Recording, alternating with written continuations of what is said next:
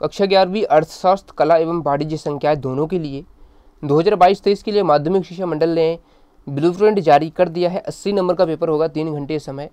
और इसमें किस प्रकार से देखिए, क्वेश्चन पूछे जाएँगे। यहाँ पर दिया गया है किस टाइप से, किस यूनिट से, कितने नंबर का पेपर में पूछा जाएगा, कितने अंक का क्वेश्चन आएगा, यहाँ पर दिया गया है। इसी के आधार पर आप पढ़ाई करेंगे। बहुत ही अच्छे नंबर आप हासिल कर पाएँगे आपकी परीक्षा में।